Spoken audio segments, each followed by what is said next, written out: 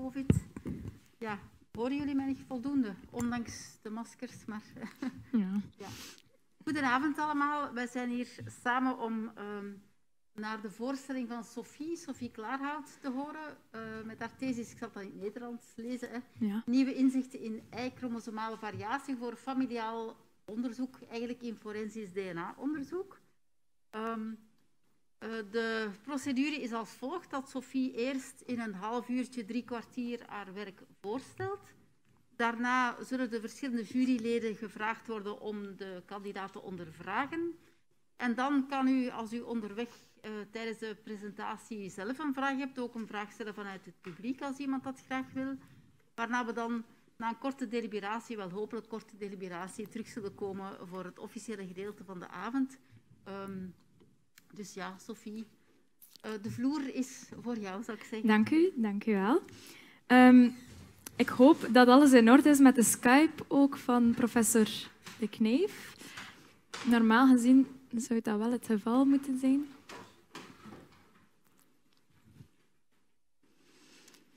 Oké, beste jury, beste familie en beste vrienden die hier aanwezig zijn. En ook iedereen die hier virtueel aanwezig is via de livestream. Gelukkig uh, is alles goed geregeld nu. Um, welkom op mijn doctoraatsverdediging. De meeste van jullie weten al dat mijn grootste interesse ligt bij het kleinste chromosoom, namelijk het mannelijk Y-chromosoom. Dat is een stukje DNA aanwezig in alle mannen. En waarom wel? Dat is omdat het kan helpen moordzaken op te lossen via familial searching of DNA-verwantschapsonderzoek. En dat is wat er ook gebeurd is bij de zaak, de moordzaak van Marianne Vaatstra. Marianne was een meisje van 16 jaar van de Westereen in Nederland. En in 1999 vertrok zij naar een feestje aan een buurtdorp om Koninginnedag te vieren. Om één uur s'nachts ging ze terug met twee jongens naar huis op de fiets. En hier namen ze afscheid van elkaar. Ze fietsten alleen verder. Maar een kilometer later werd ze van haar fiets gesleurd en verkracht en vermoord teruggevonden. Dat was een vreselijke moord en natuurlijk heel het dorp stond op zijn kop en de dader moest zo snel mogelijk gevonden worden en geïdentificeerd worden. Nu, de dader dat was geen professional. Hij was ook niet goed voorbereid, want uh, ja, elk type lichaamcel dat je maar kan bedenken, had hij achtergelaten op de crime scene. En dat is natuurlijk heel wenselijk voor forensisch DNA-onderzoekers, want met die cellen kunnen we zijn DNA-profiel gaan opstellen. Een DNA-profiel dat is iets uniek, dat is persoonsgebonden, waarvan dat je de helft van je vader krijgt en de andere helft van je moeder. Die twee helften gaan recombineren met elkaar, waardoor er unieke combinaties ontstaan en doorgegeven worden aan de andere generaties. Hierbij kan je wel nog dichte verwantschappen gaan terugvinden. Nu, de uh, onderzoekers hadden het DNA van de dader, maar daarmee weten ze nog altijd niet wie de dader effectief is. Wat ze wel kunnen doen, is gaan vergelijken met de nationale DNA-databank of met de verdachten in de, in de zaak. Nu, um, bij de dader van Marianne was het zo dat hij nog nooit eerder een strafbaar feit had gepleegd, waardoor hij niet in de nationale databank zat. En hij werd ook nooit verdacht gesteld in de zaak, terwijl er wel 200 verdachten naar voren zijn gekomen, waaronder ook enkele bewoners van het nieuwe asielzoekerscentrum uh, in de buurt, omdat Marianne haar keel werd overgesneden en dat was niet bepaald de westerse manier van doden. Maar goed, um, de dader kwam niet tevoorschijn en kon jarenlang onder de radar blijven. Tot er in 2012 een wetsverandering gebeurd is in Nederland. Hierbij mochten ze familial searching of DNA-verwantschapsonderzoek gaan doen.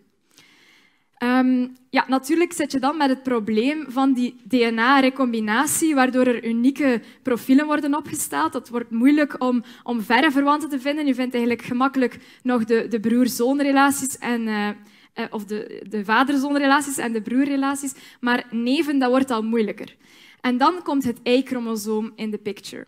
Het Y-chromosoom dat is enkel aanwezig bij de mannen en dat wordt van vader op zoon doorgegeven, waardoor er vaderlijke lijnen kunnen geïdentificeerd worden, tot heel ver. En dan maakt natuurlijk de kans groter dat er iemand in de databank of bij de verdachten zit. Als we inzoomen op het Y-chromosoom, dan ziet dat er zo uit. De twee uiteinden kunnen wel nog recombineren en 95% niet. Dat is het niet recombineerbare deel van het Y-chromosoom. Um, dat wordt dus behoorlijk intact doorgegeven van vader op zoon. Nu, ik zeg behoorlijk intact, want in de loop van de tijd kunnen er toch mutaties in de DNA-sequentie ontstaan. Wij kijken dan vooral naar kleine stukjes DNA die zichzelf gaan herhalen. Hier zie je er twee, met GAAG en CTT als motief. En dat noemen we de Short Tandem Repeats of STR's.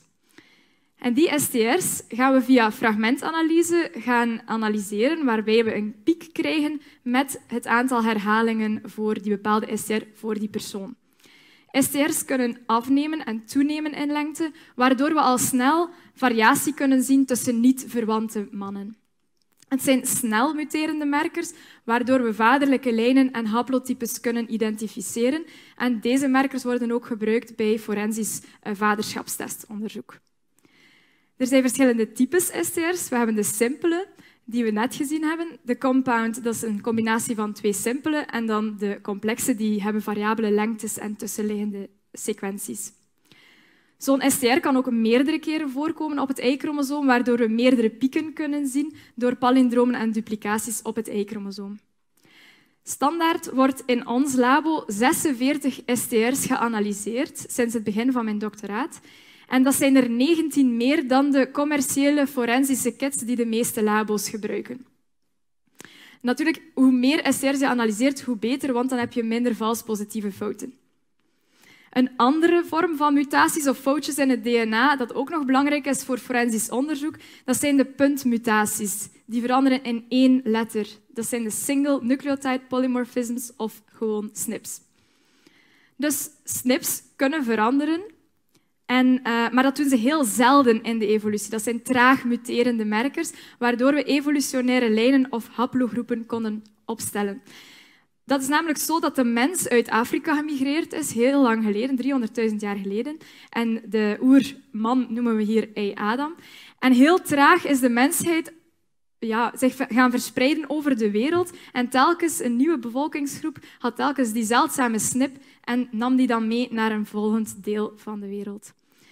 Daardoor kunnen we op de dag van vandaag alle mannen op aarde aanwezig onderverdelen in twintig grote evolutionaire haplogroepen, van de letter A tot en met T.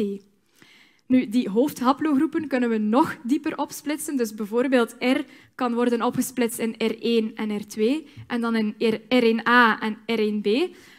We kunnen zelfs zodanig gedetailleerd gaan dat de diepste subhaplogroep van vandaag R1b, 1a, 1b, 1a en zo verder is. Dus ja, je ziet, we kunnen wel zeer uh, gedetailleerd gaan. En dat is heel interessant voor forensische, want als we het Y-chromosoom hebben van de dader, dan kunnen we ergens een inschatting gaan doen naar zijn biogeografische afkomst. Dus bijvoorbeeld, heeft hij een haplogroep A of B, dan kunnen we ervan uitgaan dat hij een Afrikaanse afkomst heeft. Is dat een Q, dan, dat komt voornamelijk voor in Amerika, bijvoorbeeld.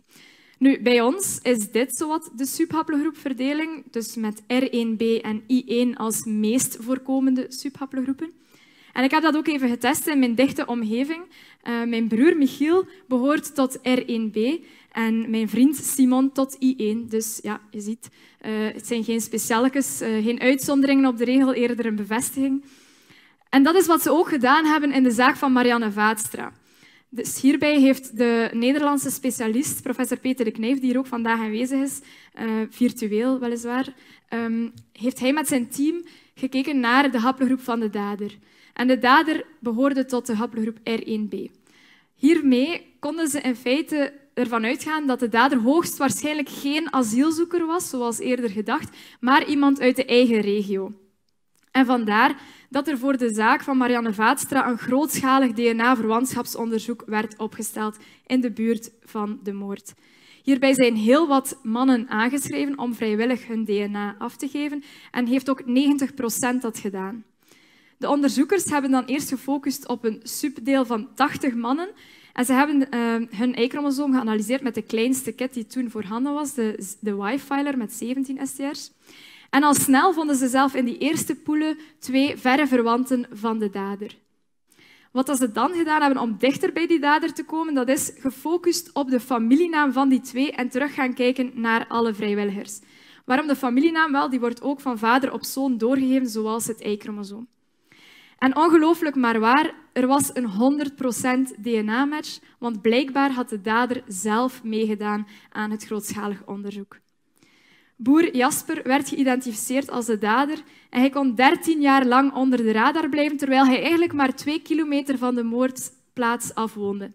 Hij heeft dan ook zijn daden bevestigd en is nu veroordeeld voor de moord van Marianne, 13 jaar later. Dus je ziet, het Y-chromosoom kan een hulpmiddel zijn om een zaak die toch vastgelopen is te helpen oplossen. Het enige dat er nodig is, is dat de dader zijn DNA achterlaat op de crime scene, waardoor wij het Y-chromosoom kunnen gaan bepalen en dan een grootschalig verwantschapsonderzoek doen om dan te zien, zijn daar dichte verwanten? Dus als er een dichte verwante is, dan gaan we naar die twee Y-chromosomen gaan kijken en de mutaties om dan zo via standaard DNA-onderzoek dieper in uh, de stamboom te gaan kijken en toch nog de dader te vinden, althans als de dader niet zelf heeft meegedaan aan het grootschalig onderzoek. Nu, dan vraag je waarschijnlijk af, ja, uh, wat heb ik daaraan bijgedragen, familial searching, uh, met mijn doctoraat? Wel, de bedoeling was om familial searching zo efficiënt mogelijk te maken, dus zo snel mogelijk naar de dader te geraken. En mijn doctoraat biedt ja, verbeteringen in de drie stappen die te maken hebben met het Y-chromosoom. Dus de analysestap, de grootschalige onderzoeksstap en dan ook nog de Y-chromosoom-verwantschapsstap. Um, dat kon ik niet gedaan hebben zonder eerst een genetisch-genealogische databank aan te leggen. Dus hiervoor hebben we via vier projecten en samenwerkingen het DNA van maar liefst 2453 mannen kunnen analyseren en ook hun stamboom. Bepaalde mannen behoren uh, tot geen stamboom in onze databank, dat, zijn de enkelingen. Dan heb je ook nog de genealogische paren, uh, dat zijn deze. En dan de mannen die behoren tot een grotere familiestamboom. Nu, een genealogisch paar dat ziet er zo uit. Dus dat zijn twee mannen die verwant zijn in vaderlijke lijn en die in hun vaderlijke lijn een MRCA delen. Dat is de meest recente gemeenschappelijke voorvader. Dat moet je dan bevestigen via geboorteakten. Bijvoorbeeld hier een geboorteakte van mijn overgrootvader, Camille Achille Klaarhout, geboren in 1898. En op die manier heb ik mijn broer kunnen linken aan Jeff Klaarhout, de beeldhouwer van Fonske. Dat is de mascotte van Leuven. En zij zijn um, verwant in 25 generaties tussen met hun MRCA Petrus in 1550 geboren. Dat is heel interessant dus voor ons onderzoek, zo'n genealogische paren, want als we het Y-chromosoom gaan onderzoeken en vergelijken tussen die twee, dan kunnen we ergens kijken naar de mutaties en het aantal generaties die ertussen zitten. Dus dat was mijn eerste onderzoeksdoel, uh, namelijk gaan kijken, kunnen we met twee Y-chromosomen en die analyses uh, gaan maken, inschatten hoe ver twee personen effectief verwant zijn. Nu, zo'n Y-chromosoomverwantschapsrekenmachine, dat bestond al. En uh, één daarvan is de McDonald's. Dat was dan de beste uh, die ik er nu uitgekozen heb. Die is eigenlijk redelijk simpel. Je moet maar drie elementen ingeven. Het aantal merkers, dus het aantal ISTR's die je analyseert, dus dat zijn er 46 voor onze kit. Um, dan het aantal mutaties tussen twee mannen. En dan de algemene mutatiesnelheid van STR's. Dan krijg je een probabiliteitsgrafiek met onderaan aantal generaties en links de kans op die, dat er zoveel generaties tussen zitten. En wat dat McDonald ons eigenlijk hier wil zeggen, is dat bij mannen met twee mutaties tussen, dat de kans is dat ze twee generaties verwijderd zijn, tot 26 generaties, maar hoogstwaarschijnlijk acht generaties. Dus uh, je ziet, dat betrouwbaarheidsinterval dat is eigenlijk ja, gigantisch. En dat is ook um, moeilijk voor forensische om dan de dader te gaan identificeren, want het kon zowel zijn broer geweest zijn als zijn verre, verre, verre, verre achterneef. Dus dan wordt heel moeilijk. Um, dat moest dus dringend ja, verbeterd worden, die Y-chromosoomverwantschapsinschatting. Het eerste wat opviel was dat McDonald hier nog altijd gebruik maakt van de algemene mutatiesnelheid, terwijl in 2014 zelf al geweten was dat dat kon variëren per STR. Dus het eerste doel van mijn doctoraat was om de ja, individuele ISTR-mutatiesnelheden van onze kit te gaan bepalen voor genealogische paren. Dus bijvoorbeeld, de ene verwante heeft 13 herhalingen voor een STR en de andere heeft er 14. Dan kunnen we ervan uitgaan dat er zeker één mutatie gebeurd is van 14 naar 13 of omgekeerd van 13 naar 14. En op die manier hebben we dat gedaan, vooral onze stambomen. Hier zie je bijvoorbeeld onze grootste stamboom uh, met 24 biologisch verwante mannen die hebben deelgenomen. En we hebben daarvoor alle ESTR's bepaald. En een voorbeeldje hiervan is de DIS 481 met de meeste verwante 27 herhalingen en dan juist verwante 11 die er 26 heeft. Dat wil dus zeggen dat er een ja, verlies van één herhaling moet gebeurd zijn in een van die generaties. Een volgende voorbeeldje is dat hier drie verwanten plots 22 herhalingen hadden, terwijl de rest er 23 had. Dus een mutatie, een verlies van, uh, van één herhaling moet gebeurd zijn in die generaties. En op die manier hebben we eigenlijk al onze Y-chromosomen en stambomen geanalyseerd en konden we 726 verschillen zien over bijna 150.000 generaties. Dan hebben we per ESTR de mutatiesnelheid kunnen afleiden. En hier zie je ze opgelijst van traag naar snel. En die blauwe lijn duidt de algemene mutatiesnelheid aan, die McDonald dus gebruikt om, om zijn inschatting te doen. Maar je ziet dat dat kan variëren per STR hoe snel die muteert. Degene hier in de rode zone, dus rechts, dat zijn de rapidly mutating STR's, die dus nog sneller muteren dan andere. En dus is het heel interessant om te weten welke STR er precies gemuteerd is tussen twee mannen. Is dat een snel muterende, dan kan het zijn dat het broers zijn. Maar is dat een traag muterende, dan is dat, ja, zijn dat eerder ver verwante mannen. Dus handig voor onze nieuwe rekenmachine. Het tweede wat we gezien hebben in mijn doctoraat is dat het ook belangrijk is om evolutionaire haplogroepen in rekening te houden. Dus tot welke evolutionaire haplogroep iemand behoort. Want we hebben een significant verschil gevonden tussen onze hoofdhaplogroepen R1b en I. Wat dat nu wil zeggen, dat is eigenlijk bijvoorbeeld, stel de dader is verwant met mijn broer in drie mutaties, dan is het algemeen dat ze twaalf generaties uit elkaar verwijderd zijn. Stel dat de dader matcht met mijn ja, mijn vriend Simon, die behoort tot haplogroep I, dan zijn ze gemiddeld 18 generaties ver van elkaar verwijderd. Dus je ziet, hier zit er ook een verschil, terwijl wel hetzelfde aantal mutaties gezien is. Ook belangrijk dus om in rekening te houden. Daarnaast zijn er, is er ook mogelijkheid dat um, verwanten bijvoorbeeld meer dan één herhaling verschillen voor het 6 en 8. Dat werd al gezien in vader-zoonkoppels, uh, maar hier zitten we natuurlijk met verre verwanten. Dus kan het zijn dat er één mutatie gebeurd is van um, 6 naar 8, of twee mutaties van 6 naar 7 en dan naar 8. Dat hebben we ook gezien in onze stamboom. Bijvoorbeeld hier, verwante 15 heeft 34 herhalingen, terwijl de meeste 36 hebben. Dus één of twee mutaties moeten gebeurd zijn in deze generaties. En als laatste hebben we ook vaak gezien dat, er, ja, dat verwanten hetzelfde aantal uh, herhalingen hebben. En dan gingen we er vaak vanuit dat er geen mutatie was. Maar wat bleek, wat hebben we nu gevonden in mijn doctoraat, dat het ook mogelijk is dat ze beiden gemuteerd zijn, onafhankelijk van elkaar, naar hetzelfde aantal herhalingen. Dat noemen we dan verborgen parallele mutaties. Dat zie je hier ook opnieuw in onze stamboom, waarbij verwante 3 en de laatste allebei 35 herhalingen hebben en de rest 36. Dus twee mutaties moeten gebeurd zijn. Stel dat we enkel deze twee verwanten van elkaar hadden geanalyseerd, dan waren we eigenlijk twee mutaties over het hoofd gezien en hadden we ze misschien dichter ingeschat dan de 30 generaties die ze nu van elkaar verwijderd zijn. Dus dat zijn vier nieuwe inzichten die we uh, verworven hebben en waar McDonald's zijn rekenmachine geen rekening mee hield. Wat we dan gedaan hebben, is een nieuwe rekenmachine geprogrammeerd en uh, we noemden die de YMRCA. En dat is ja, een, nieuwe rekenmachine die rekening houdt met al deze vier elementen. Dus individuele, maar ook haplogroepspecifieke mutatiesnelheden, meerstapsmutaties en parallele mutaties. Um, de YMRCA heeft twee inputtabellen nodig. Een eerste dat zijn de Y-haplotypes, of de E-haplotypes. Um, ik zal even inzoomen voor jullie. Je ziet dan het aantal herhalingen per STR voor uh, die twee koppels. Dan het tweede tabel dat ze nodig heeft, is uh, de mutatiematrices per STR. Dus dat is eigenlijk de kans op een mutatie per STR van ene allel naar het andere. Nu, dat ziet er misschien ingewikkeld uit, maar die, um, dit, dit Excel-bestand heb ik dynamisch opgemaakt, waardoor het heel gemakkelijk is in gebruik te nemen en te manipuleren. We hebben dan eigenlijk duidelijke verbeteringen gezien. Bijvoorbeeld in onze databank zien we hier twee koppels met allebei vier mutaties. Maar koppel A scheelt 10 generaties en koppel B scheelt er 20.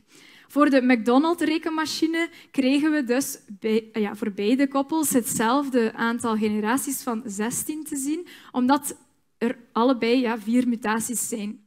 Voor de YMRCA zagen we dan dat hij correct 10 generaties inschatte en ook dat het generatieinterval veel kleiner was. Dan voor koppel B zagen we dat hij correct 20 generaties als hoogste probabiliteit gaf. Dus je ziet dat de YMRCA meegaat met de realiteit doordat hij rekening houdt met die individuele mutatiesnelheden. We hebben dat dan voor al onze koppels berekend. Dus hier zie je um, voor de McDonald's calculator. Dus je ziet onderaan de correcte aantal generaties en dan links de uh, berekende aantal generaties. En wat we eigenlijk willen, is dat deze lijn op de perfecte berekeningen zou liggen. Dan zou het gewoon ideaal zijn.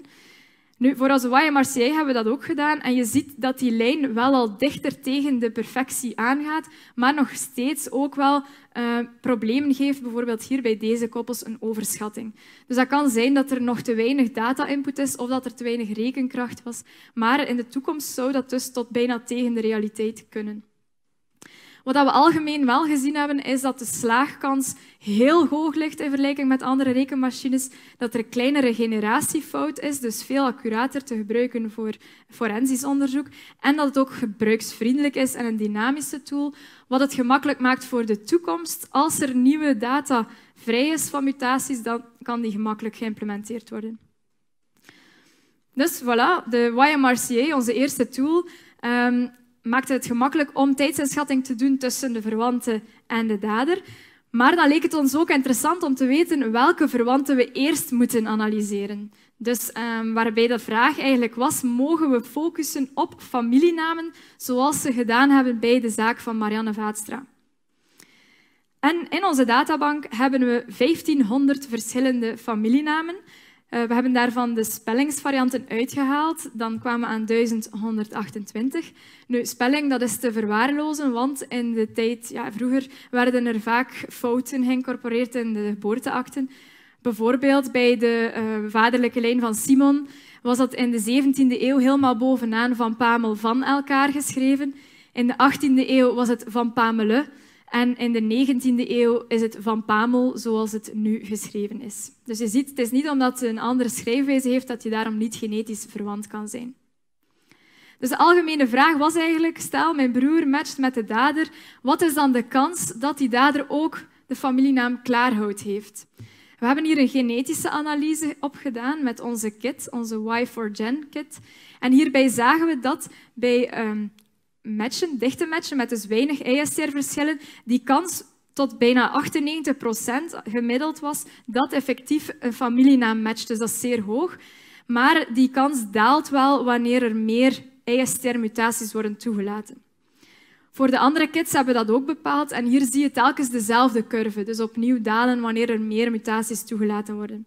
Ook belangrijk is te zien dat uh, het ook afhankelijk is van het aantal STR's die uh, worden geanalyseerd. Bijvoorbeeld de Y-filer-kit die gebruikt werd voor Marianne Vaatstra, zie je dat de kans, zelfs bij een perfecte match, nog altijd uh, veel minder is dan de andere kits, puur omdat er ook vals positieve verwantschappen kunnen als waar aangenomen worden. Daarna hebben we gekeken naar de familienaam zelf, dus de frequentie daarvan. We hebben hierbij drie familienamen vergeleken met een hoge frequentie, gemiddelde frequentie en lage frequentie. En hierbij zagen we dat bij de familienaam met een lage frequentie in voorkomen, dat de kans groter was dat een genetische match ook effectief een familienaam-match was. Met andere woorden, als de dader matcht met mijn broer Klaarhout, dan is de kans groot dat, dat hij ook Klaarhout noemt, omdat die naam niet vaak voorkomt. Maar stel dat de dader matcht met iemand met de familienaam Dont of Maas bijvoorbeeld, dan is de kans kleiner, omdat die familienaam vaak ook onafhankelijk werd gekozen van elkaar. Bijvoorbeeld hier uh, de Maas. Ja, meestal de mensen die langs de Maas woonden, kregen de familienaam Maas, daarom dat die familienaam ook zo vaak voorkomt. Um, maar dat wil dus niet zeggen dat je daarom genetisch verwant bent. Dan kwam de vraag natuurlijk, stel nu dat je Maas noemt en dat je dicht bij elkaar woont, is dan, is dan de kans groter dat je ook effectief genetisch matcht en een familienaammatch hebt. En dan dachten we aan clustervorming. Hierdoor hebben we een geografische analyse gedaan op onze dataset en zagen we dat de, het aantal genetische matchen daalde wanneer mannen verder uit elkaar gingen gaan wonen. Als we dan keken naar de familienaammatch, dan zie je een sterke, uh, een sterke relatie met een R-kwadraat van 0,9. Dat duidt op een heel sterke relatie. Dat dus de familienaammatch snel afneemt hoe verder twee personen van elkaar wonen. Dat duidt dus eigenlijk aan op het feit dat het toch belangrijk is als we een grootschalig onderzoek doen, dat we dat dicht doen tegen, uh, bij de buurt van het moord, van de plaats delict, Puur omdat uh, ja, er ook onderzoek is al duidelijk gebleken dat een dader niet vaak ver van zijn woonplaats een moord pleegt. Deze elementen hebben we dan gebruikt om een nieuw predictiemodel op te zetten, de Y-surnames, die in feite gaat gaan voorspellen wat de kans is dat iemand gaat matchen uh, met de familienaam. En hierbij wordt gebruik gemaakt van uh, alle elementen op het Y-chromosoom, dus het aantal mutaties, uh, de mutatiesnelheid, de haplogroep, maar ook de geografische analyse, hoe ver mensen van elkaar wonen. En dat predictiemodel dat hebben we geëvalueerd en dan kregen we deze curve, dat is een ROC-curve, met een area under the curve van 0,9. Uh, dat is een zeer goed model. Um, als je daar vragen over hebt, uh, Jennifer Rulens uh, weet daar heel veel van. Nu, het, wat we eigenlijk met, dit, um, met deze grafiek weten, is dat we de beste drempelwaarde voor ons model kunnen gaan instellen. Dus de beste drempelwaarde is natuurlijk kans op weinig vals alarmen en een hoge sensitiviteit. Met deze drempelwaarde kwamen we aan een predictieprecisie van 85 procent. Dat is heel hoog en dat is bijna dubbel zoveel als een eerdere studie op Spaanse of Catalaanse familienamen en in het Verenigd Koninkrijk. Daarnaast kan de Y-surnames eh, ook een ehm, prioriteitslijst maken van de hele database die we eigenlijk insteken. Dat is ook heel interessant natuurlijk voor grootschalig verwantschapsonderzoek. Dus voilà, de Wise Surnames, onze tweede tool. En dan de laatste tool die ontwikkeld werd in mijn doctoraat is vooral um, voor die Y-chromosoomanalyses te gaan verbeteren. Want we gebruiken nog altijd die fragmentanalyse, zoals ik daarnet heb, um, heb getoond. Dus dat is eigenlijk via capillaire elektroforese worden, worden deeltjes van het Y-chromosoom geknipt en spatiaal en spectraal gescheiden, waardoor we pieken krijgen met het aantal herhalingen. Waar we naartoe willen gaan, dat is massive parallel sequencing, waarbij dat de stukjes die geknipt worden op het Y-chromosoom dan ook letter per letter worden uitgelezen. Massive parallel sequencing dat is uh, massive, want het kan heel veel verschillende markers tegelijkertijd analyseren, zowel ISR's als SNPs tegelijkertijd. Dat kon niet bij CE-analyse. En um, we kunnen ook meerdere mannen tegelijk gaan analyseren. En dat allemaal op sequentieniveau, dus niet meer die pieken. Nu, NPS, dat is niet iets dat ik heb uitgevonden of zo, dat bestaat al even. En er zijn ook verschillende kits ontwikkeld om um, via massive parallel sequencing ook deeltjes van het Y-chromosoom te gaan sequencen. En hier zie je ze, bijvoorbeeld de Forenseq en de PowerSeq. Um, maar enkel de laatste heeft eigenlijk een hoog aantal merkers. Maar je ziet dat geen enkele van deze kits zowel STR's als SNP's tegelijkertijd analyseren. Dus wat hebben wij dan gedacht? Oké, we gaan ons eigen nieuw panel ontwikkelen voor zowel SNPs als STR's te targeten en in een groot aantal. En voilà, in mijn doctoraat hebben we de CSY-seq ontwikkeld, die 202 eigen STR's target en bijna ja, meer dan 9000 SNPs. Voor die 202 eigen STR's hebben we ook opnieuw de individuele mutatiesnelheid bepaald. Dat zie je hier. En uh, daarbij zagen we dat we 80 traag muterende SNPs hebben. En uh, dat is heel handig voor verre verwantschappen te vinden voor familial searching. En 26 snel muterende merkers. Dat is dan weer handig voor de onderscheidingskracht tussen twee dicht verwante mannen. Nu, waarom hebben we zoveel STR's nodig? Wel, uh, in onze databank zagen we bijvoorbeeld deze twee koppels die via um, capillaire elektroforese geen enkele mutatie tussen beiden toonden. Maar als we die dan sequencen via onze Massive Parallel Sequencing Kit, dan zagen we 6 en 16 mutaties tussen die twee personen. Dus je ziet hier, de onderscheidingskracht is veel groter. In theorie zou ons panel 100% van de broerskoppels moeten discrimineren en 90% van de vader-zoonkoppels. Dus dat is eigenlijk een wereldprimeur, want vroeger dacht men dat het Y-chromosoom ja, onveranderd doorgegeven werd en dat het dus niet nuttig was voor forensisch onderzoek. Als we dan gaan kijken naar de A-SNPs, dan uh, sequence hij eigenlijk 15.611 A-SNPs, waarvan er 6000 en zoveel onbekende haplogroep nog hebben en 32 private SNPs zijn. Dat zijn familiespecifieke SNPs, dus uh, dat is ook heel handig voor de onderscheidingskracht. Maar 9014 SNPs die hebben wel een gekende haplogroep, waardoor we 14, meer dan 1400 subhaplogroepen kunnen typeren met onze kit. En die zijn verdeeld over de volledige filogenetische boom van A tot en met T. Dus in theorie zouden we iedereen, elke man uh, met eender welke biogeografische achtergrond kunnen gaan achterhalen met onze kit. We hebben dat ook getest op onze populatie in Nederland en België. En hierbij zagen we dat er zeker genoeg SNPs per um, subhaplogroep werden getypeerd. En dat zorgde dus voor dat we veel dieper konden gaan in die subhaplogroep met in feite één analyse. Dus onze CSY-Seq-kit is volledig Y-chromosoom specifiek, dus zeer handig. Het is allemaal in één kit, in één protocol kunnen we heel wat meer merkers analyseren en dat allemaal op meerdere mannen tegelijkertijd, waardoor er ook een hoge onderscheidingskracht mogelijk is door die vele merkers. Dus hoge onderscheidingskracht tussen zowel verwante mannen als niet-verwante mannen. En voilà, dat zijn de drie tools die ontwikkeld werden in mijn doctoraat, die ervoor zorgen dat familial searching iets efficiënter zal verlopen en beter kunt gaan naar de daderidentificatie. Die drie tools heb ik ook volledig beschreven in mijn doctoraat, waarbij dat de YMRCA zorgt voor een betere tijdsinschatting tussen een dader en verwanten.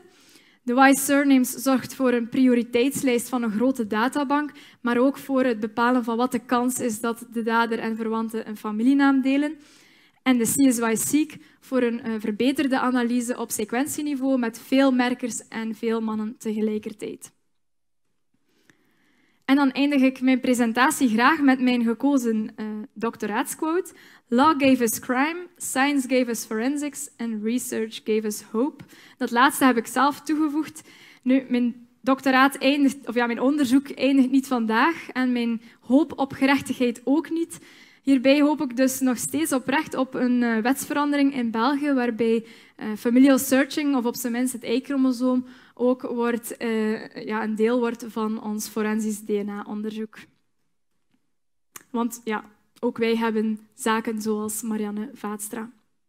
Bedankt voor jullie aandacht en om hier te zijn. En voor de mensen die er virtueel zijn, ik hoop dat jullie nog aan het luisteren zijn.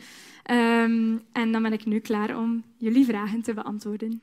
Dank u wel.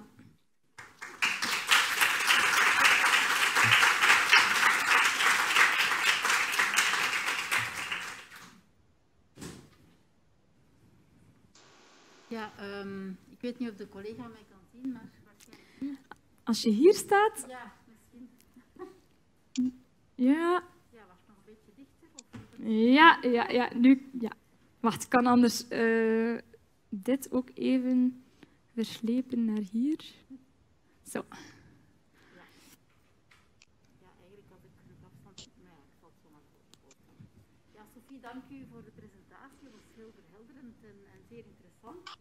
Um, dan komen nu in uh, de fase van het ondervragen. En dan zou ik graag onze buitenlandse collega, professor Peter de Knijf, hij is van uh, de Universiteit van Leiden, is specialist, zoals je zelf al had gezegd, in DNA-onderzoek en vooral uh, forensisch onderzoek met gebruik van Y-chromosoomanalyse.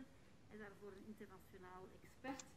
Dus, professor de Knijf, um, geef aan u het woord om Sophie als eerste uw vragen te stellen.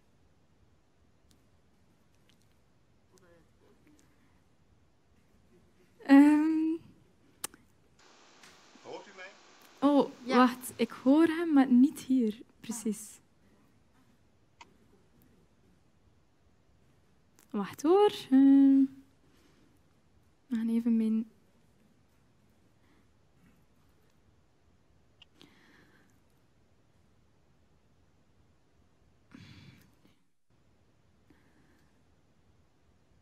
Professor De Kneef? Ja, hoor je mij? Ah, ja, ja, nu horen wij u. Ja. Moeten zien, zien jullie mij niet? Nee, wij zien u niet. Ja, alles staat hier wel aan, dus... Ehm, dat is wel raar natuurlijk. Ehm, en heb je al op het eh cameraatje gedrukt en dan op toestemming van uw camera? Ja, ik blijf drukken, maar hij doet niks bij mij. Ja, hebben wij een technieker in de zaal. Ja, eh, ja geluid is ook goed. Geluid is ook goed hoor. Ja, Zal ik dan maar gewoon beginnen? ja dat mag, zeker. Oké, eh, allereerst mevrouw de kandidaat, van harte gefeliciteerd met uw fantastisch proefschrift. Dank u. Ehm, u heeft in vier jaar tijd heel veel gedaan wat ik in de afgelopen 25 jaar zelf had willen doen. Maar de technieken waren er toen nog niet klaar voor. Ehm, en eh, u bent een begenadigd spreker, dat heb ik vorig jaar al kunnen horen. En dat blijkt ook weer uit uw presentatie hier. Ehm, maar desalniettemin heb ik natuurlijk ook een aantal vragen voor u. Ja, Ehm, mijn eerste vraag gaat eh, over hoofdstuk 2, ehm, op bladzijde 41. Daar ehm, er eh, haplogroep specifieke verschillen in de ISTR mutatiesnelheden zijn. ja, Ehm, en eh, dat was een waarneming die ik zelf eh, lang geleden ook al een keer gedaan had, maar nooit heb opgeschreven omdat ik geen plausibele verklaring durfde te geven. Want het is natuurlijk eigenlijk helemaal niet logisch. Ehm, en zeker. Oei, de micro staat uit. En de jonge haplogroep R1b, eh, die, die zijn eigenlijk ehm, eh, tegenstrijdig. Je zou verwachten dat ehm, in een jonge ei-haplogroep zoals R1b de mutatiesnelheid nog lager zou moeten zijn dan in een oudere haplogroep zoals eh, I. Ehm, eh, u heeft wel geprobeerd daar een verklaring voor te geven, maar volgens mij vindt u zelf eigenlijk ook dat u de echte verklaring nog niet heeft. Klopt dat? En zou u dat kunnen nader kunnen toelichten? Dank u voor uw vraag. Ehm, dus eh, het is effectief zo dat het moeilijk is om een verklaring hiervoor te vinden dat er een significant verschil is tussen twee haplogroepen en dan de, de ESTR-mutaties. Ehm, het feit dat het tussen R1b en I1 is, ja, dat is eigenlijk te verklaren in ons databank met het feit dat de allellengte verschilt. Dus ehm, er zijn vier, of ja, er zijn toch verschillende moleculaire invloeden bekend van de, de snelheid van een STR. En één daarvan is de allelgrootte. Dus hoe groter een STR is, dus hoe meer herhalingen die heeft, hoe groter de kans is op een, ehm, een mutatie. En dat hebben we kunnen bevestigen in, in onze stalen, dat bij de haplogroep R1b er hoger of grotere allelgroottes zijn. Ehm, dus dat kan een verklaring bieden.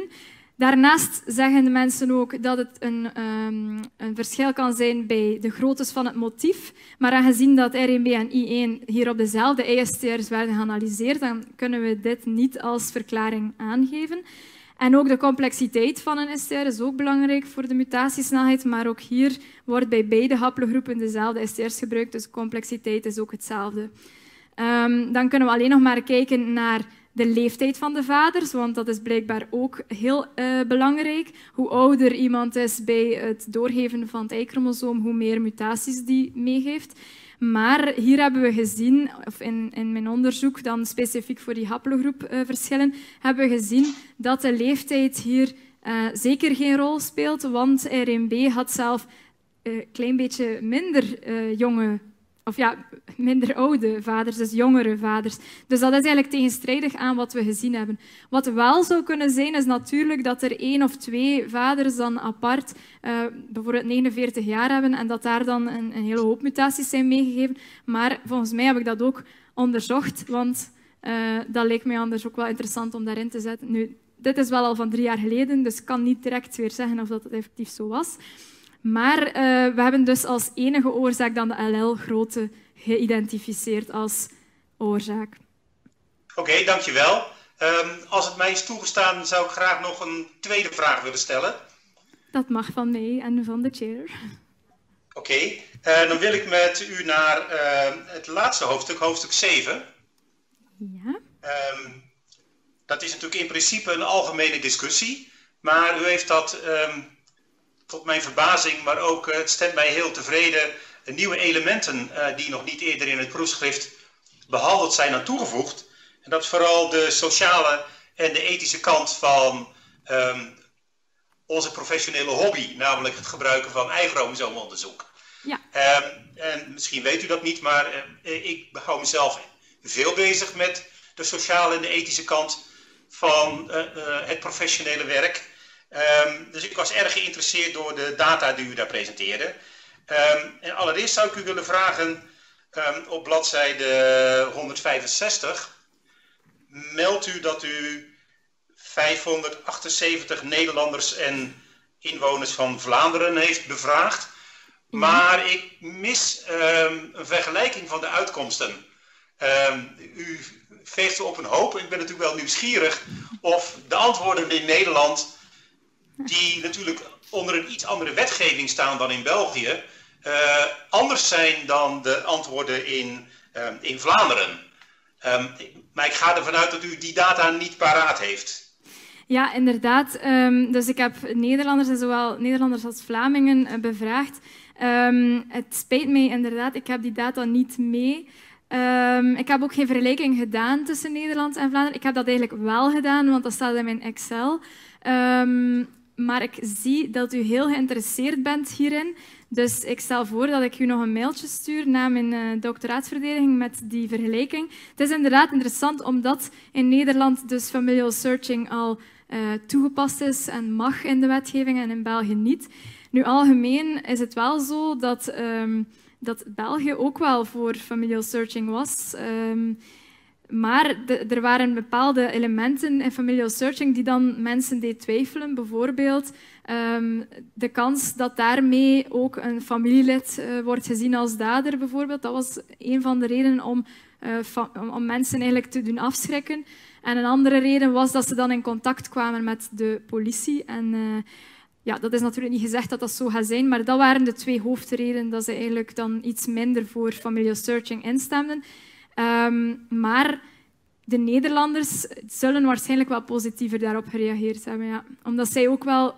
Zij, zij kennen het systeem van familial searching en zij weten ook dat het is niet omdat u matcht met de dader dat u dan ook effectief uh, onmiddellijk de politie over de vloer krijgt. Dus, uh, er, er, wordt echt met, met heel veel uh, zorg en, en, gevoeligheid gekeken naar die match. Eerst gekeken naar hoeveel mutaties er zijn en dan verder gaan om eigenlijk in die groep van mensen dan nog verder eerst te gaan kijken, zijn er nog dichtere verwanten, voordat je eigenlijk met de politie eh, ja, in, in aanraking komt.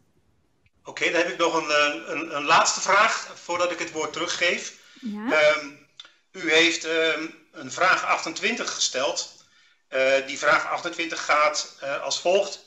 Would you analyze your DNA by an online genetic genealogy company?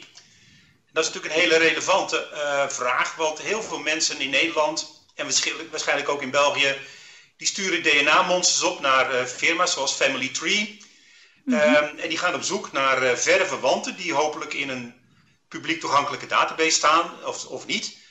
Maar wat die mensen zich, natuurlijk zich niet realiseren, is dat als zij hun DNA-profiel in een publieke databank stoppen, ze eigenlijk ook 50% van het DNA-profiel van hun eerste graads familieleden in dezelfde databank stoppen. Waarmee ze dus ook hun eerste graads en tweede graads familieleden uh, niet meer, niet langer anoniem houden. En um, ja, dat is een aspect wat op dit moment in Nederland een rol speelt uh, bij het toepassen van dit soort genoomwijde uh. En ik vroeg mij af of u bij het opstellen van deze enquête um, ook in deze richting heeft gedacht. Um, of dat dat iets is wat u over het hoofd heeft gezien maar wellicht wel nader zou willen analyseren? Um, wel, ja, het, het, ding is een beetje, die enquête was vooral om, om algemeen te gaan kijken wat, hoe is de kennis van DNA in, in de populatie en hoe staan zij tegenover familial searching. En die vraag van, van de genetisch-genealogische eh, bedrijf, of dat ze gaan meedoen of niet, hebben er eigenlijk heel veel nee gezegd. Omdat het voor de meeste mensen hun eigenlijk, ja, en dat is natuurlijk tegenstrijdig aan u en mij, maar het interesseert hen eigenlijk bitter weinig uh, hoe hun DNA eruit ziet. De meeste mensen. Ik zeg nu niet uh, van de, de echte uh, genealogen en zo verder. Maar um, wat er wel interessant is, is natuurlijk die afkomstbepaling of, of Neandertaler percentage DNA. Zo, dat zijn de dingen die wel aanslaan bij, bij het volk. Maar ja, er wordt er wordt dan misschien, en ik, ken, ik, weet niet goed hoe uh, zo'n online bedrijf werkt, maar het kan zijn dat, dat ze daar inderdaad te weinig informatie over geven, over wat dat er precies geanalyseerd wordt, uh, of dat je dan effectief inderdaad um, uw naam en toenaam en zo, ja, dat moet daar waarschijnlijk wel in zitten, maar of dat uw, uw genealogie daar dan volledig in zit, dat weet ik ook niet. Uh, maar het is wel zo dat bij een databank, en als we die gaan opstellen, um, dat er zeker moet, moet voor gezorgd worden dat die privacy toch hoog blijft. Nu, bij, bij familial searching is het doel om een verwante te identificeren, dus daar zit je natuurlijk een beetje met tegenstrijdigheid. Um, het is zeker een ethische kwestie, familial searching. Uh, waarbij dat er dus moet rekening gehouden worden met privacy en zo verder. Maar het is zeker de bedoeling om iedereen goed te informeren via een informed consent dan. Uh, en om te zeggen van kijk, welk DNA wordt er geanalyseerd, wat weten we daarmee? Want met Y-chromosoom alleen weten we in feite niet veel, behalve het geslacht, uh, tot nu toe toch. En um, ja, wat gaan we daarmee doen en gaan we dat dan vernietigen en zo verder. Dus er is zeker, het moet zeker duidelijk gecommuniceerd worden, inderdaad. Oké, dank u wel voor al uw antwoorden. Ik wil graag het woord teruggeven. Oké, okay, dank u. Dank u wel. Is deze ook nog? Ja. ja. Dank u wel, professor eh, De Knijf. Dan gaan we nu over tot uh, het, um, wel, het jury dat niet tot onze universiteit behoort, maar tot een andere Belgische universiteit. En dat is collega Dr. Je Haas van het Universitair Ziekenhuis Antwerpen en meer bepaald van het Forensisch Centrum uh, van Antwerpen. Ik denk dat, ja, een micro misschien voor de livestream, ja. Ik denk dat die... Moet de micro op? Ja. Beetje entertainment.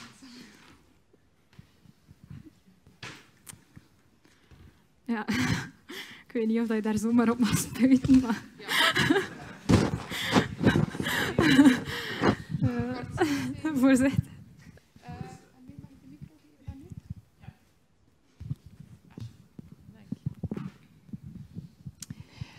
Dag Sophie. Hallo. Um, van harte proficiat. Vandaag is de perfecte dag om gelukkig te zijn en trots te zijn op wat je hebt bereikt. Um, je hebt een heel mooi parcours afgelegd en een bijzonder knappe doctoraatsthesis afgeleverd en ja, een hele mooie presentatie gegeven. Achter jou liggen al je herinneringen en voor jou al je dromen. Rond jou iedereen uh, die je lief heeft en in jou alles wat je nodig hebt om voor te kunnen. Ja, um, ik heb een paar vraagjes voor jou. Um, in je studie van hoofdstuk 2 uh, includeer je 321 verschillende paternele stambomen met een totaal van 723 mannen, waarbij een verwantschap bepaald is. En je zegt de verwantschap is gebaseerd op eisnip en er mogen niet meer dan zeven gemuteerde eisnip-loci zijn. Um, ESTR, ja. Ja, sorry, ESTR, sorry. Um, waarom juist zeven en mogen dat eerder welke um, mutaties zijn? En ben je echt wel zeker dat je met zeven mutaties echt wel paternele verwanten hebt? Ja, dus um, die zeven dat werd eigenlijk opgesteld toen met de algemene gekende mutatiesnelheid van STR's. En uh, daardoor kon afgeleid worden dat bij ja, koppels, genealogische koppels, waar er 25 generaties tussen zitten, er in feite maximaal zeven ESTR-mutaties zouden kunnen gebeuren. Nu, um, dat is heel weinig in onze databanken voorgekomen dat er een genealogisch koppel zoveel mutaties had. Mm -hmm. um, er was wel één bij, ik weet ik me te herinneren, die er acht had, um, maar wel ook dertig generaties van elkaar verschillen. Dus dat zit echt op de grens. Hierbij hebben we dan die uh, personen, want dat was met een project uh, eigenlijk een, een, met als doel de, de buitennechtelijkheid te bepalen. Dus dat was wel, we moesten zeer voorzichtig uh, daarmee omgaan. Maar we hebben dan tegen die mensen, of die mannen, gezegd dat met de technologie van vandaag, dus de fragmentanalyse en zo, er niet met zekerheid kan uh, worden vanuitgegaan dat ze ook familiaal verwant zijn, omdat er juist zoveel STR-mutaties uh, tussen beiden zijn. Maar natuurlijk, uh, met de data en gegevens dat we nu hebben, zouden we eventueel eerst kunnen gaan kijken van oké, welke STR's zijn dat? Zijn dat alleen maar rappen? Dan kun je al vanuit gaan, ja, dat zou wel kunnen. Um, welk type mutaties zijn dat? Zijn dat meerstapsmutaties en zo verder? Um, en zeker met de CSY-seq, dus die sequencing kit dat we ontwikkeld hebben, als we die mannen nu met deze kit zouden analyseren, dan zouden we veel beter kunnen gaan weten of dat ze effectief verwant zijn of niet. Want daar hebben we ook een grens moeten bepalen van het aantal STR's die we analyseren en de algemene mutatiesnelheid. Daarbij hadden we berekend, als ik mij niet vergis, dat er voor uh, mensen met 30 generaties tussen rond de 25 mutaties mogen zijn. Dus, en, um, en we hebben ook een koppel gesequenced die zeven mutaties tussen beiden hadden. Dus dat was ook heel, heel nipt. Maar die mensen hadden nu voor de volledige CSY-seq hadden zij 19 mutaties. Dus die zitten zeker binnen de range van familiaal verwant te zijn. Um, heb ik nog een tweede vraagje. Um, binnen de Indiaanse mannenpopulatie heeft ongeveer 0,23% een uitval van het AML-ei-allel als je een autosomale STR-typering doet. Um, hoe zou jij dat zien in je nieuwe ontwikkelde techniek? Hoe, gaat, hoe gaan je resultaten er dan uitzien als je zo'n Indiaanse man zou moeten typeren met je CSI-SEC-approach? Um, dus een AML-ei-deletie, ja, uh, daar ben ik zelf nooit tegengekomen en dat zit ook niet in onze databank. Maar um, dan is natuurlijk afhankelijk van hoe groot die deletie is, dat, dat weet ik nu niet van buiten. Um, maar wat we wel hebben ervoor gezorgd dat de CSY-seq, uh, voordat we de ESR's gingen gaan kiezen, hebben we gekeken naar drie elementen de ESR-mutatiesnelheid, dus dat die wat varieert, de ESR-complexiteit, maar ook de ESR-locatie, waardoor dat we eigenlijk de volledige um, euchromatische regio van het Y-chromosoom wilden gaan targeten, juist om zo'n deleties uh, die u vertelt, te gaan uh, ervoor zorgen dat niet bij één deletie dan plots de helft van onze ESR's wegvallen. Dus ik denk dat daardoor wel met de, de analyse van de CSY-seq dit ja, geen of minder probleem zou moeten zijn dan. Mm uh, nog een derde vraagje. Um, wat heeft België nog nodig om uh, forensic family searching te doen buiten de wetgeving? Um, ja, buiten de wetgeving. Dus dat is het eerste natuurlijk dat er nodig is. Um, het tweede is misschien een onafhankelijk labo die geïnteresseerd is om familial searching uh, tot zich te nemen en uh, eigenlijk gespecialiseerd zijn op Y-chromosoomanalyses. Uh, dat zou handig zijn. Natuurlijk, de kost is, is ook een, een grote.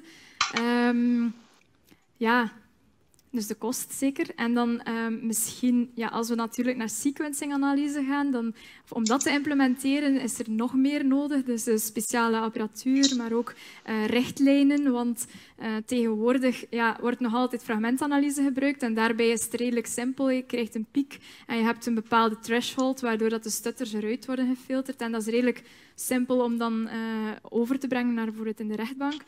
Maar voor uh, parallel sequencing zijn er mm, ja, andere maatregelen ook nodig. Dat bijvoorbeeld minimum aantal reads, wat is, wat is daar de norm? Uh, welke um, programma's voor analysesoftware en zo moeten we gaan gebruiken? Um, ja, welke platform, sequencing platform? Al die, die richtlijnen moeten zeker ook nog bedacht worden. Maar dat is natuurlijk na de stap nadat familial searching aanvaard wordt. Uh, en als we de CSY-seq willen gaan gebruiken tenminste. Dankjewel.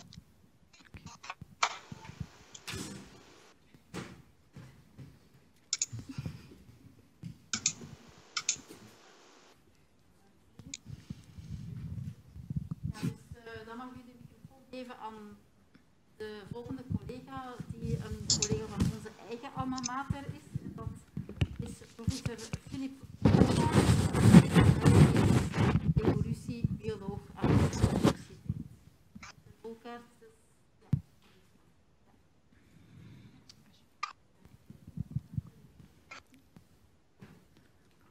Dank u.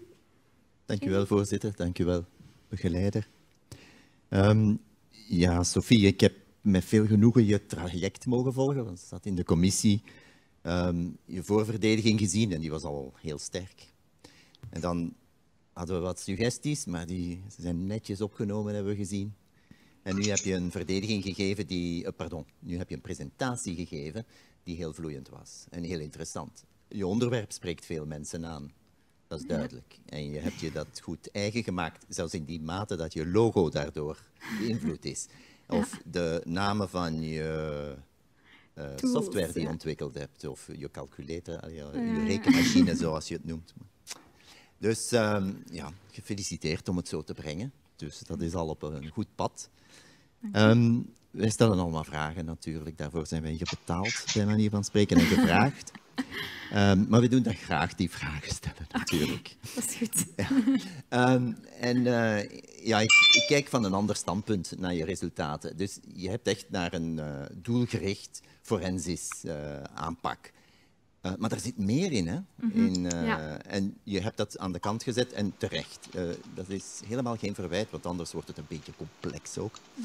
Maar er zit veel potentieel in natuurlijk in micro-evolutie. Dus op niveau van begrijpen van ja, populatiegenetica, migraties bij mensen en wat weet ik allemaal. Mm -hmm. Zou je daar kort een woordje kunnen over zeggen? En dan heb ik nog twee kleine vragen daarop. Ja, zeker. Um, dus ja, ik, ik, weet inderdaad, in de loop van mijn doctoraat hebt u vaak vermeld van de evolutie, uh, dat ook heel interessant kan zijn voor evolutiebiologie, uh, om het Y-chromosoom te analyseren en dergelijke. Ik heb mij vooral gefocust op forensisch onderzoek natuurlijk, maar Y-chromosomaal onderzoek kan uh, belangrijk zijn voor verschillende, dus interdisciplinair onderzoek in feite.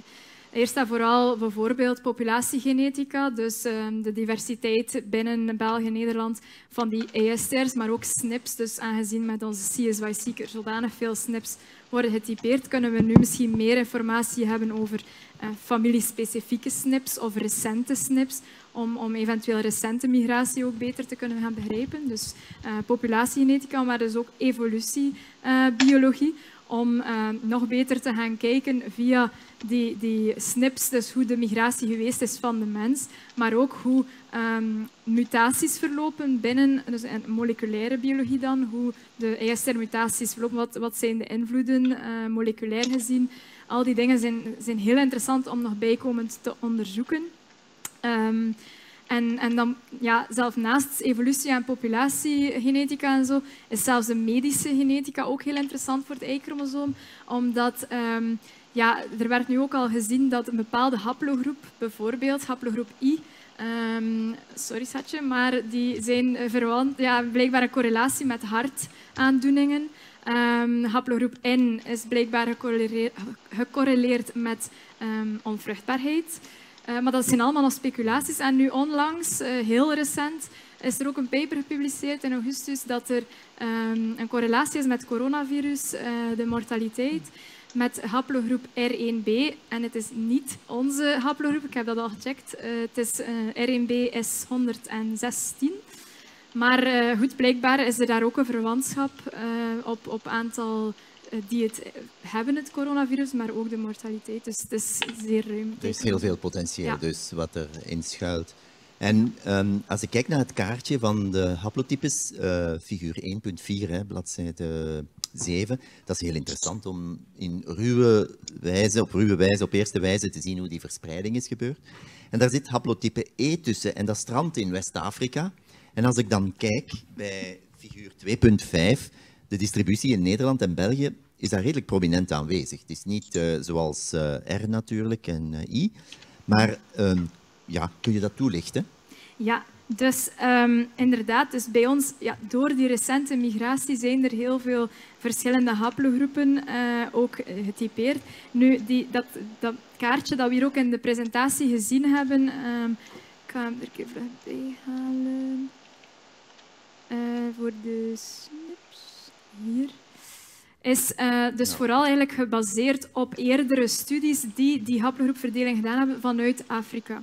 Uh, nu, je ziet inderdaad, haplogroep E uh, eindigt hier, Maar er is hier nog een streep eh, die misschien minder goed te zien is. Dat is ook haplogroep E. Aha. Eh, ja. Dus vandaar misschien de verwarring. Maar dus haplogroep E komt zeker ook voor in, in, onze, in onze regio. Maar veel minder natuurlijk, ja. Maar zie je een onderscheid te maken tussen ehm, een oude migratie, want zo moet ik het noemen, hè, van Ja. E, dan wel een recente migratie? Eh, dat, dat, dat zal zeker het geval zijn. Ehm, Mhm. Nu, die informatie over haplogroep E specifiek heb ik niet. Maar ik veronderstel, met- zeker met het aantal SNPs die nu gekend zijn, dus in de ISOG Y-chromosomale databank zijn er nu 700.000 Y-SNPs, dus op het Y-chromosoom alleen. Eh, nu, die 700.000 zijn nog niet allemaal behorende tot een haplogroep, maar eh, daar zitten dus ook familiespecifieke in en zo verder. Dus ik denk dat als we, en als we de hele filogenetische boom bekijken, dan ga je ook zien dat E zich opsplitst in, ja, zoals subtakken. hier, die R1b en zo verder. Eh, en dat dat naarmate dat eh, er meer onderzoek gebeurt, en dat is, het zou natuurlijk handig zijn moest de CSY-Seq daar dan een deel kunnen voorstellen, omdat daar een, een vaste mix van ijsnips wordt gebruikt. Ehm, dus dat kan zeker handig zijn, want in, ehm, tegenwoordig zijn er heel veel snips die erbij komen. Maar dat is ook problematisch, want ehm, een snip kan bijvoorbeeld in twee labels onafhankelijke naam gekregen hebben. En eh, dus voor de nomenclatuur bijvoorbeeld is dat wel ja, moeilijker. Maar eh, voor evolutiebiologie daar dan op te gaan doen, op snips en zo verder, die 700.000, dat is heel interessant ook voor recente migratie. Ja.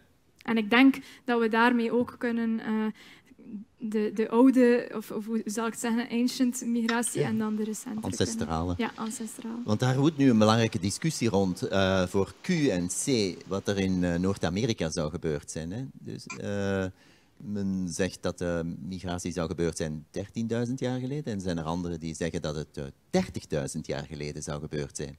Zou jij daar een oplossing kunnen mee bieden met die Ehm, haplotype-analyse? Je zou eventueel wel om, om tijd, dus eigenlijk is dat ook TMRCA-bepaling, eh, zou je kunnen van de populatie die dan behoort tot de haplogroep Q of C, eh, daarvan het Y-chromosoom gaan analyseren en kijken hoeveel mutaties er in die populatie gebeurd is. En dan een soort van calibratie gaan doen met de mutatiesnelheid in het achterhoofd van hoe ver die TMRCA voor die populatie is. Ehm, maar dat daar een discussie rond was, dat, dat wist ik niet. Ja, maar er is, er is geen DNA gevonden. Het is eh, Ja, artefactenmateriaal, dus eh, we zijn nog niet zo ver. Ja. ja, dat komt nog. Ja. En eh, ja, ik heb een derde klein vraagje en dat is uh, CSY Seek. hoeveel kost dat op dit ogenblik en tot welk niveau ga je dat terugdringen? Want je hebt dat netjes vermeden daar juist. En, in, in het labo, de, de kostprijzen kunnen hoog zijn om het publiek te verwittigen. Ja. Maar ja, als dat routinematig gebeurt, kan dat serieus naar beneden gehaald worden. Hè? Wel- wel- Ja. Welke grote orde? Je moet mij niet op de euro zeggen. Ehm, dus stel, ik werk volledig gratis en eh, iemand... Ja, maar je hebt nooit een berekening gemaakt wat dat kost? en het ding is, ik, ik, weet, ik weet heel weinig van, van de kost van onze producten. Ik, ben- ik ben wel eh, verantwoordelijk soms om bestellingen door te geven aan mijn professor, waarbij dat dan de prijs staat ook, maar Ja. ik heb nog nooit durven optellen. Eh, ik weet wel hoe dat, hoeveel dat één sequencing run kost. Ja. Dus voor eh, één plaat is dat rond de 2300 euro. Dat klopt. Ehm, dat klopt, dat is oké. Eh, dus in één plaat kan er theoretisch gezien 96 mannen gemultiplexed worden. Nu, in de, in de praktijk is dat niet zo, omdat ehm, ja, eigenlijk wordt er vanuit gegaan, eh, in theorie krijgen we 50 miljoen reads uit één sequentie-run. Eh, maar dat bleek niet het geval te zijn, zeker niet met onze stalen. ehm, en waardoor dat we eigenlijk hebben moeten gaan naar 60 stalen per run. Ja. Dus dat scheelt ook al. Een andere factor is, als we echt forensisch gaan blijven kijken, dan is bijvoorbeeld bij een mengstaal, wanneer dat dus vrouwelijk DNA en mannelijk DNA gemengd wordt, ehm, stel nu dat dat 1 op 100 is, dan moet je eigenlijk die reads gaan, gaan verhogen naar de laagste, eh, dus eigenlijk de man, het aandeel van de man, om nog genoeg reads te kunnen hebben per sequentierun. En als dat 1 op de 1000 is, ik heb dat al berekend, dan is dat eigenlijk maar één staal dat we zouden kunnen ana- analyseren op één sequencing run. En daarop heb je je snips gedaan en uw microsats ook? Zit het daarin? Ehm, wel, de CSY-Seq die doet alles. Alles en in- één run? In één run, Oké, ja. maar dus weten we de prijs ongeveer. Ja. Eh, zonder eh, werknemerskosten. Zonder, Ja, eh, en zonder productkost ook. Hè. Ja. het is alleen de run, het is niets aan de voorbereiding. Ja. ja, de voorbereiding. Dus Maar ik werk gratis. Nee, Dat zal op termijn een beetje naar beneden moeten gaan, maar kom. nee, nee bedankt. ja, dank Dat u wel. fijn.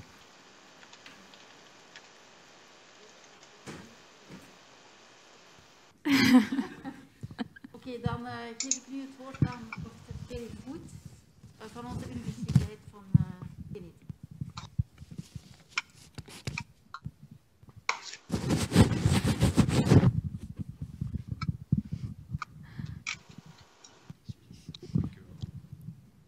Ja, Sophie, ik wil ook voor eerst zeer hard feliciteren met het mooie presentatie en indrukwekkende presentatie, mag ik toch wel zeggen.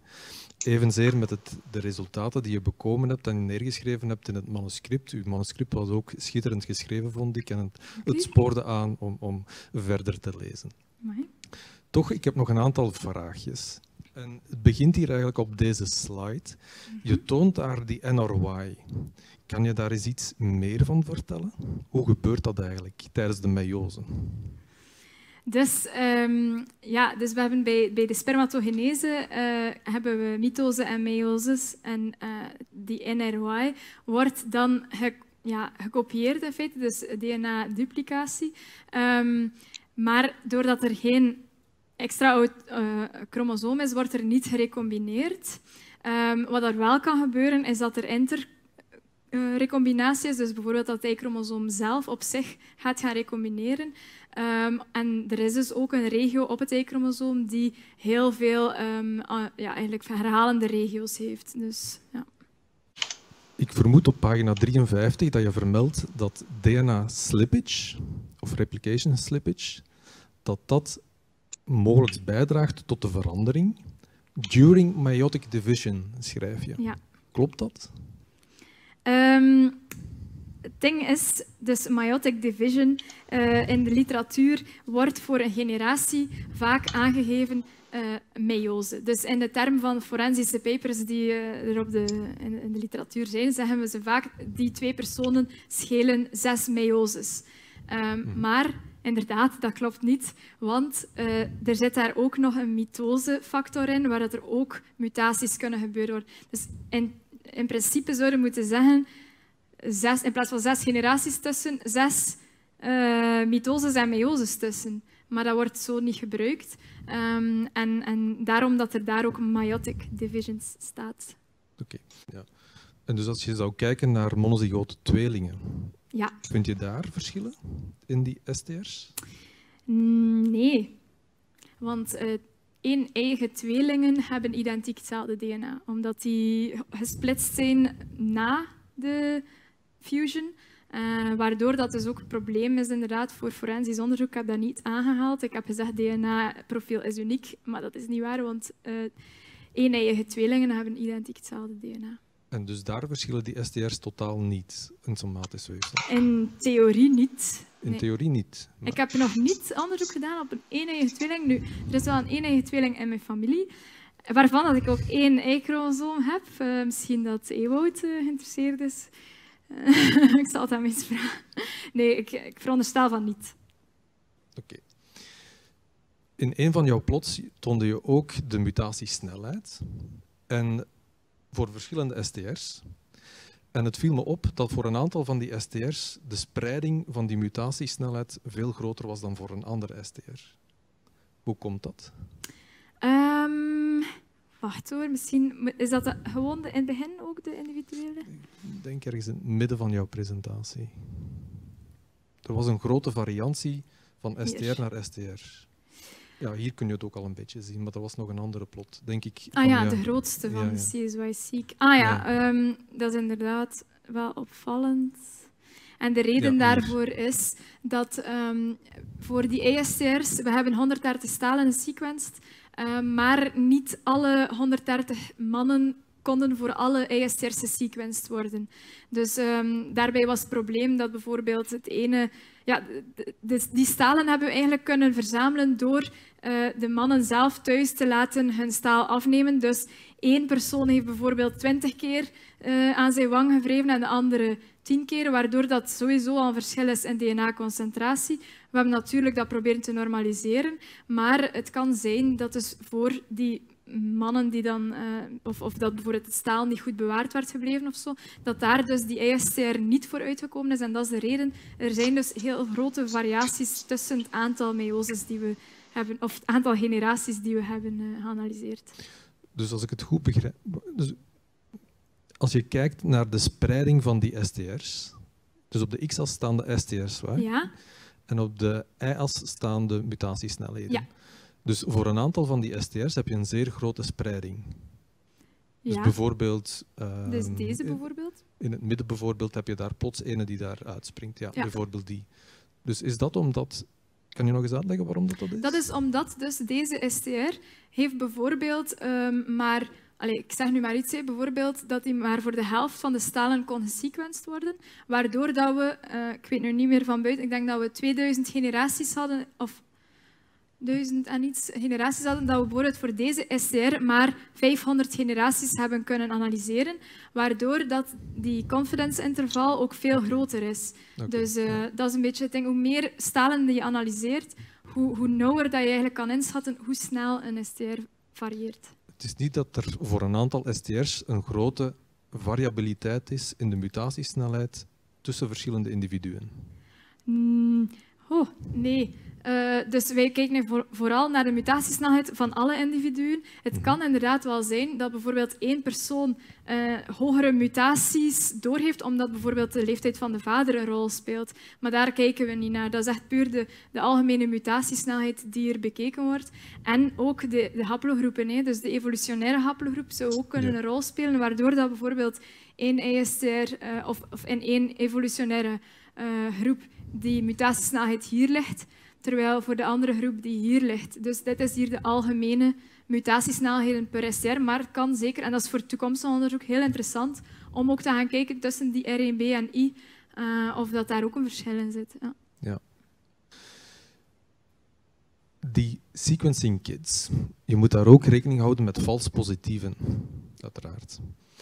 Nu, welk sequencing platform is volgens u het beste om die STR-merkers juist te kwantificeren? Ehm, dus wij gebruiken eh, als sequencing platform gebruiken wij de sequencing by synthesis en eh, eh, bridge amplification en dan sequencen we dat op de MySeq. Ik denk dat dat het beste is voor STR's. Met eh, de verklaring, anders zouden we niet dat gekozen hebben. Ehm, maar het is, het is wel zo dat SCR's heel moeilijk zijn. Waarom? Omdat vaak in dezelfde cyclus van sequencing dan dezelfde nucleotide telkens eh, gevraagd wordt. En dat zorgt voor moeilijkheden. En dat hebben we ook gezien. In Genomic Score hebben ze ons ook... eh, dat was trial and error om onze eerste plaat te sequencen. Ehm, het is namelijk zo dat bij, dus bij, bij herhalende regio's ervoor zorgt dat... En dat is een term dat zij gebruiken, de phi-x. Dat is een controle in de sequencing. Dat is een steken, dat is een controle van een gekende library eh, om te gaan opmeten of dat die clustering goed gebeurd is. En ze hebben bij onze stalen gezien dat die phi-x in, in plaats van de 1% dat ze normaal gebruiken, dat ze dat moeten opwaarderen naar 5% tot zelfs 10%. Eh, puur omdat eigenlijk die, ja, die niet variabele, of ja, die herhalende regio's zodanig veel eh, problemen daarmee kunnen geven. Ja. Dus ken je ook sequencingmethoden die amplificatievrij zijn? Ehm, met massive parallel sequencing? Mhm. Ik ken ook nog emulsion. Eh, ja, emulsion PCR, dat is dan de andere vorm van, allee, van, van dat, dat ken ik, maar ik, eh, voor de rest misschien dat u mij daar beter. Ja, er zijn ook nog de derde generatie sequencers die momenteel eh, sterk in opmars zijn, waarin dat je eigenlijk single molecule sequencing kunt Ja. uitvoeren. Single cell sequencing natuurlijk. Goed, ehm, misschien nog een laatste vraag. Dus in uw toekomst, momenteel heb je voornamelijk gefocust op de mannelijke daders. Voor de toekomst ga je je focussen mogelijk op de vrouwelijke daders. En wat zijn daar de mogelijkheden? Ehm, dus de vrouwelijke daders, dat is een eh, heel interessante. Eh, eerst wil ik even met een feitje komen dat uh, in België de meeste misdaden gebeurd worden door mannen, 85 procent. En als we dan kijken naar seksuele delinquenten, dan gaat dat naar 91 procent. Maar om te antwoorden op uw vraag, kan dat ook met vrouwelijke daders. Um, je zou kunnen focussen op mitochondriaal DNA, dat doorgegeven wordt in de moederlijke lijn. Dat is wel moeilijker, omdat je, die genealogie is ten eerste al moeilijker op te stellen, omdat het sowieso niet met de familienaam meegaat. Dus je moet eigenlijk telkens opnieuw gaan zoeken, ook om dan terug te keren. Met de wet van de privacy is dat heel moeilijk. Um, ze zijn tegenwoordig wel een project opgestart, Mama Mito, met um, dokter Maarten Larmuzo. En uh, dat denk ik wel dat heel boeiend is om te kijken naar mitochondriaal DNA. Is dat ook een beetje hetzelfde? Nu, ik weet, dat is, vooral, dat is alleen maar SNPs. Daarmee kun je ook haplogroepbepaling doen. Uh, er zijn denk ik zeven haplogroepen van mitochondriale uh, DNA. Maar ik denk dat je daar recente familiale lijnen moeilijker gaat kunnen in uh, ja, discrimineren, omdat daar echt wel ja, die, die, vooral die haplogroepen in verre lijnen kunnen geïdentificeerd worden.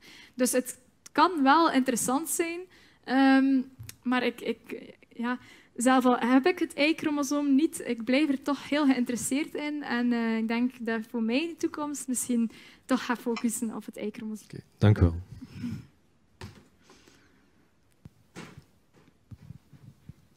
Professor De Korte, hebt u als promotor nog een vraag of hebt u die de voorbije vier jaar al gesteld? Ja, oké. Okay. Um, is er iemand in het publiek die graag een vraag stelt aan Sophie? Ja? Wat? De micro. Ah ja.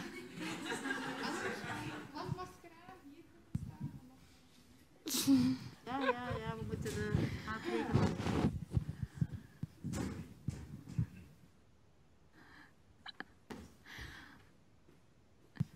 Um, met dat uw kit of um, uw panel zo goed werkt, zou je het niet uh, patenteren en verkopen?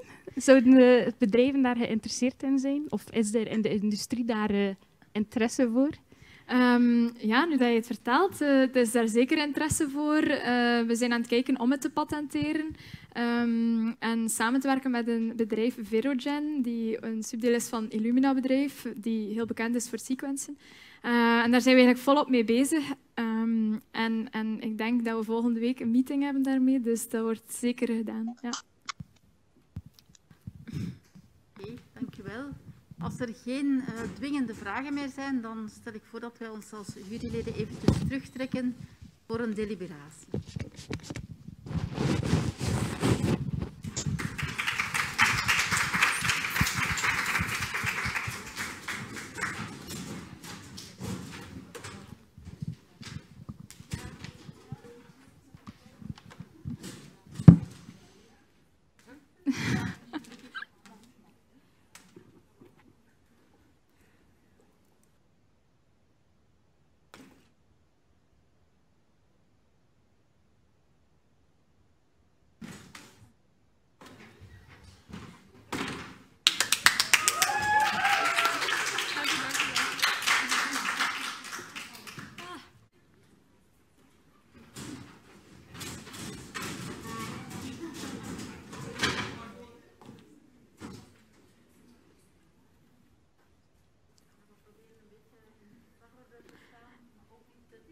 Ja. Dus...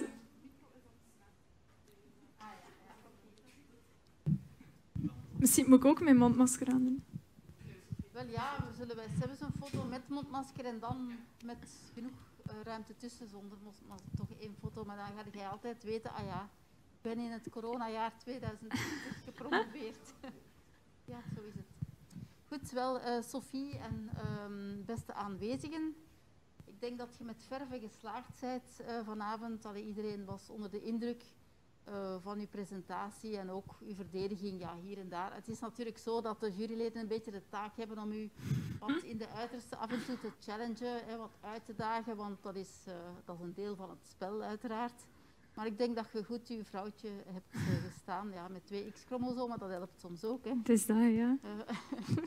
dus... Um, Dan kan ik u bij deze de proclamatietekst voorlezen.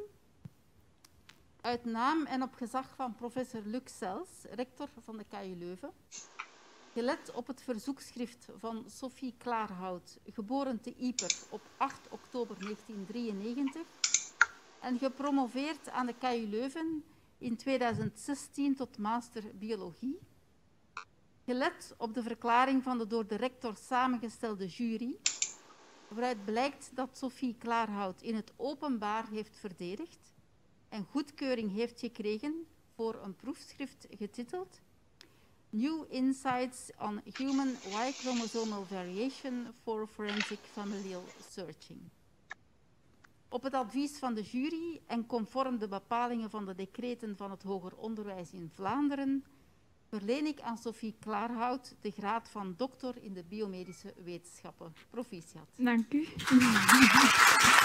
Dank u.